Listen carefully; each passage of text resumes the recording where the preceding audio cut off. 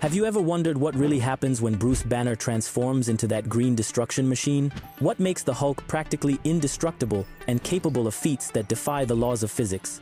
Honestly, I think few Marvel characters have an anatomy as fascinating and complex as the Emerald Giant. Let's dive deep into the extraordinary biology of the strongest being on the planet perhaps in the universe and discover the secrets behind the incredible green wrecking machine. Bruce Banner was born to Dr. Brian Banner and Rebecca Banner. While his mother loved him deeply, his father, driven by insane jealousy, hated him for being the object of Rebecca's love. Brian believed his work with radiation had mutated his DNA, resulting in a mutant child. The reality was simpler. Bruce was just an exceptionally intelligent child. Bruce's life changed forever during the test of a gamma bomb he himself developed when saving teenager Rick Jones, who had trespassed into the testing field, Bruce was exposed to a massive dose of gamma radiation. This radiation, instead of permanently killing him, triggered an unprecedented cellular transformation, creating the entity known as the Hulk. What makes the Hulk's anatomy so impressive isn't just his appearance, but the complete cellular restructuring that occurs during transformation. When Banner transforms, his body mass increases drastically in a matter of seconds, Conventional science would say this is impossible, but gamma radiation fundamentally altered how Banner's cells function. No joke. We're talking about roughly 800 pounds of muscle tissue and bone marrow that appear practically out of nowhere. The gamma radiation energy allows Banner's cells to absorb matter from the environment or from alternate dimensions, explaining this impossible increase in mass. During transformation, the gamma radiation accumulated in Banner's body is released through the pores of his skin, resulting in the characteristic green coloration. This isn't just a cosmetic effect, the radiation is constantly reinforcing and regenerating the Hulk's tissues. Marvel scientists theorize that the Hulk's skin possesses properties similar to an organic metal, with cells interwoven so densely that they can resist virtually any physical impact. His muscles are approximately 1,000 times denser than normal humans, allowing him to perform feats of strength that defy comprehension. What few know is that each of the Hulk's internal organs also undergoes a radical transformation. His heart, several times larger than a normal human's, pumps gamma radiation charged blood through his body at a pressure that would burst ordinary human arteries. The Hulk's lungs can process oxygen with supernatural efficiency, allowing him to survive in oxygen-poor environments or even in the vacuum of space for limited periods. His digestive system can extract energy from virtually any substance, though we rarely see him eating. In fact, the Hulk seems to obtain most of his energy directly from the gamma radiation stored in his cells. This is wild, but the Hulk's brain is perhaps the most fascinating organ. While Banner's intelligence is often suppressed during transformation, the Hulk's brain maintains surprisingly sophisticated cognitive functions, even in his most savage states. Studies in the comics suggest that the Hulk's brain has unique neural connections that allow amplified emotional processing essentially, he thinks with anger. In some versions, like Professor Hulk, we see that it's possible to maintain Banner's intelligence with the Hulk's strength, suggesting the brain can adapt to accommodate both personalities. The Hulk's strength is truly a phenomenon without parallel. In my opinion, few concepts in comics are as brilliant as the idea that the angrier Hulk gets, the stronger he becomes. This effectively eliminates any upper limit to his power potential. In measurable terms, the Hulk has demonstrated the ability to lift over 150 billion tons in his base state, and that's just the beginning. When truly enraged, he has generated enough force to destroy asteroids twice the size of Earth with a single punch, creating shockwaves that reverberated across infinite dimensions. The Hulk's speed is frequently underestimated.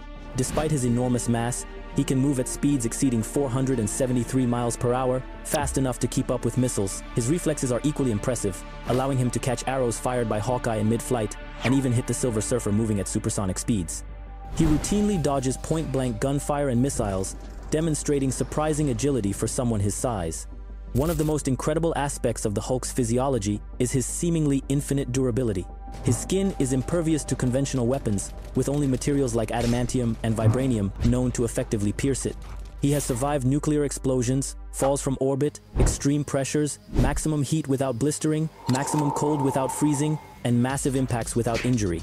This is crazy, he has withstood the Human Torch's Nova Blast, 1 million degrees Fahrenheit, and crushing pressures from the Juggernaut without damage. When the Maestro's War Dog, a robot that claimed to crush adamantium in 7.3 seconds, clamped onto the Hulk's exposed neck, it failed to even break his skin before being torn to pieces. The Hulk's healing factor is possibly his most defining power. Connected to the place known as the One Below All, he possesses a remarkable regenerative capacity, controlling his healing rate and manipulating his biomass. Even when dismembered and placed in separate containers, he can reconstitute himself through sheer force of will, His healing factor allows exceptionally rapid recovery from physical injuries, regenerating damaged or destroyed body parts much more efficiently than normal humans. He has regenerated internal organs and tissues in alternate realities, and even regenerated a significant portion of his head after it was torn off. One of the Hulk's most impressive abilities is his capacity to leap enormous distances. Using his incredibly developed leg muscles, he can perform extraordinary jumps. As his anger intensifies, his strength increases, allowing for even greater distances. He has covered 10 miles in a single leap, moving at 40 times the speed of sound. He jumped from ground level to the top of Mount Olympus in a single bound and has nearly reached Earth's orbit on multiple occasions. He even reached Mars's orbit with a single leap.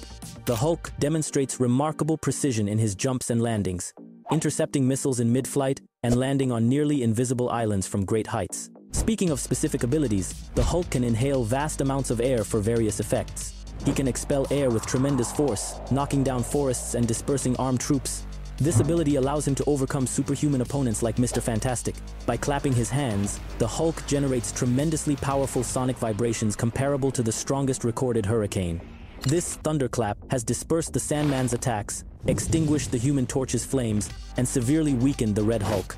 It possesses enough power to knock down the Avengers. His thunderclap even countered Nightcrawler's sonic beams, shattering an entire universe. He can also create devastating shockwaves by stomping his feet, creating tremors that disrupt opponents and demolish structures. The Hulk's endurance is equally impressive. His body neutralizes fatigue toxins that build up in muscles during physical activity. He has jumped non-stop for an entire day without tiring. In an enraged state, he can exert himself at peak capacity for weeks before fatigue significantly affects him.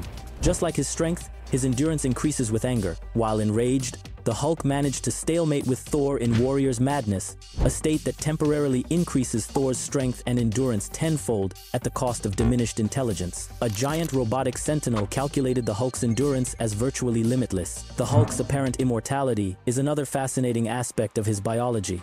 The Hulk cannot die permanently. The exact nature of this ability remains unknown, but it is suggested that after the death of the Hulk or Banner, the green door opens, allowing resurrection. It is suggested that Banner's other self facilitates this, as Banner prefers peace instead of rebirth as the Hulk. Initially, it was theorized that damaging the hypothalamus, the brain region that controls the nervous system and emotions, could kill the Hulk, but subsequent resurrections prove that gamma mutations cannot be prevented from reviving, even with brain destruction. After being resurrected by the Challenger, Banner's death would result in automatic resurrection and transformation into the Hulk at nightfall. What makes the Hulk truly unique among superheroes is the duality of his nature. Bruce Banner represents the brilliant scientific mind, while the Hulk is the physical embodiment of repressed anger and mental imbalance. This duality is more than a simple division of personality, it's a constant battle for control. Over the years, we've seen various Hulk personalities emerge, each representing a different aspect of Banner's fragmented psyche. The Grey Hulk, Joe Fixit, is more cunning and calculating, the Savage Green Hulk is pure uncontrolled anger, the Professor Hulk represents the integration of Banner's intelligence with the Hulk's strength, and the Immortal Hulk, Devil Hulk, is darker and vengeful. The Hulk's relationship with gamma radiation goes far beyond the initial exposure. In the comics, it was revealed that the Hulk is effectively the one below all, or more precisely, the destructive avatar of its evil counterpart. This potentially grants him access to an infinite source of raw power. This cosmic aspect of the Hulk's nature explains why he continues to get stronger over the years, and why he seems to be truly immortal. Gamma radiation didn't just alter his body, it connected him to primordial forces of the multiverse. It's amazing how even after decades of stories, we still discover new aspects of the Hulk's biology. During the Immortal Hulk arc, we learned that each cell in the Hulk's body possesses its own consciousness. If a part of Banner's body is removed, that part can still transform into the Hulk independently. This explains how, even when completely dismembered, the Hulk can regenerate. Each cell knows it's part of the Hulk and fights to reunite with the whole.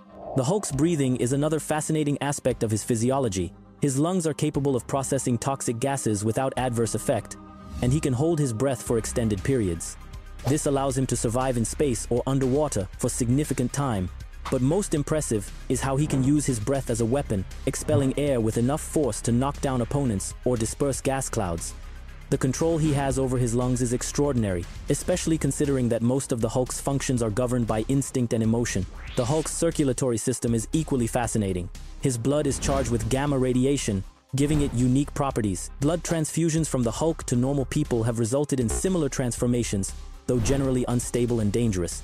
His heart beats at a rate that would kill a normal human, pumping blood through blood vessels that need to be incredibly resistant to withstand the pressure. In states of extreme anger, reports indicate that the Hulk's heart can beat more than 500 times per minute, sending waves of gamma energy through his body that further increase his strength. The Hulk's nervous system represents another biological puzzle. As a being driven primarily by emotion, particularly anger, his neurons must process emotional stimuli in a fundamentally different way than normal humans. Marvel scientists theorize that the Hulk's synapses are constantly flooded with anger-related neurotransmitters, but his body has adapted to use this emotional energy as physical fuel. In essence, the Hulk's anger is directly converted into physical strength through a unique biochemical process. The Hulk's senses are amplified beyond human limits. His vision can detect movement at extreme distances and works perfectly in near total darkness. His hearing is sharp enough to detect heartbeats hundreds of yards away. His smell can track prey like a predator, and it has been demonstrated that he can smell fear. These enhanced senses complement his physical abilities, making him not just a battle tank but also a formidable hunter. Interestingly, the Hulk's body demonstrates extreme environmental adaptability. He has survived in environments that would instantly kill normal humans. The depths of the ocean without breathing equipment, the vacuum of space, and even inside stars. This adaptability suggests that his cells can quickly reconfigure to protect him from almost any extreme environmental condition he encounters. The relationship between Banner's psychological trauma and the Hulk's physiology cannot be underestimated. The abuse he suffered at the hands of his father created deep emotional scars that found physical expression through the Hulk. In a way, the Hulk represents the ultimate defense mechanism when Banner feels threatened. His body responds by transforming into a virtually indestructible entity. This mind-body connection is so fundamental to the Hulk's nature that some comic book psychiatrists have suggested that if Banner ever completely overcame his traumas, the Hulk might cease to exist. As for the Hulk's jumping capabilities, they truly defy physics. Considering the Hulk's mass, the force necessary to propel him hundreds of miles in a single leap would generate devastating shockwaves at the point of departure. However, somehow his body channels this energy primarily into vertical and horizontal movement, minimizing collateral damage. This suggests some kind of instinctive control over kinetic energy, another unique aspect of his physiology. One of the most impressive and rarely mentioned abilities of the Hulk is his adaptability in combat. Although often portrayed as a brainless brute force, the Hulk has repeatedly demonstrated the ability to learn and adapt during battles. He can adjust his tactics based on the opponent's weaknesses, a combat instinct that transcends conscious intelligence. This adaptability is another aspect of his unique biology. His body seems to remember opponents and develop countermeasures in real time. Honestly, I think few truly understand the Hulk's potential. While characters like Superman and Thor are often cited as the most powerful, the Hulk has an ace they don't have, unlimited potential. The physics of the Marvel Universe confirms that there is no theoretical upper limit to the Hulk's strength, it simply continues to increase proportionally to his anger. This means that, given enough stimulation, the Hulk could theoretically become the most powerful being in the multiverse. The Hulk's feats over the years confirm this almost divine potential. He has destroyed a planet with a single punch, sustained the weight of a star, resisted attacks from Galactus, defeated the Silver Surfer in direct combat, fought an enraged Thor to a standstill, held together the tectonic plates of a planet to prevent earthquakes, broken dimensions with the force of his punch, and perhaps most impressively, as Worldbreaker Hulk, he threatened to destroy the very structure of planet Earth simply by standing on it, emitting energy waves so intense that continents began to break apart. What makes all these feats even more impressive is that they were accomplished by a being who, at his core, is human. Unlike Thor, a god, or Superman, an alien, the Hulk was born from human science and human tragedy. He represents what happens when the latent potential within humanity is unlocked both for destruction and salvation. The question that often arises is, is the Hulk truly immortal? The evidence suggests yes. He has survived practically everything the Marvel Universe can throw at him. Even when his body was completely destroyed, he returned. In the Immortal Hulk arc, we discovered that Banner and Hulk always return at sunset, no matter how they died. This immortality is linked to the cosmic place known as the One Below All, suggesting that the Hulk is connected to the very fundamental forces of reality. Speaking of fundamental forces, have you ever wondered how the Hulk's body interacts with time and space? On various occasions, the Hulk has demonstrated resistance to temporal and dimensional manipulations. Beings capable of manipulating reality often discover that the Hulk is peculiarly resistant to their powers. This suggests that his unique biology anchors him to reality in a way that few other beings experience.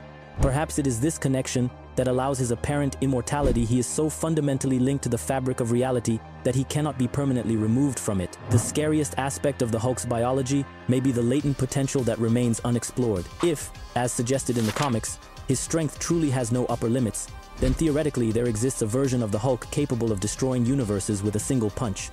This terrifying possibility is probably why so many heroes and villains have tried to cure Banner over the years, not out of compassion, but out of fear of what the Hulk could become if his anger were taken to truly cosmic extremes. Have you ever wondered what it would be like to face the Hulk? To imagine standing before that mountain of green muscle, knowing that each passing second he becomes stronger, faster, and more resistant? It's a terrifying thought that explains why even the most powerful Marvel heroes often resort to escape or dissuasion when confronted with a truly enraged Hulk. If there's a lesson to be learned from the Hulk's anatomy, it's that human potential both for destruction and survival can be truly limitless. Bruce Banner, a fragile and tormented scientist, carries within him the power to challenge gods, it's a powerful metaphor for the duality of human nature and the extremes we're capable of. So, what do you think? Is the Hulk truly the most powerful being in the Marvel Universe? Or is there some hidden limit to his potential that we haven't yet seen? Leave your opinion in the comments below. And if you enjoyed this deep analysis of the Hulk's anatomy, don't forget to like this video and subscribe to the channel for more content about the scientific and biological aspects of your favorite superheroes. Until next time,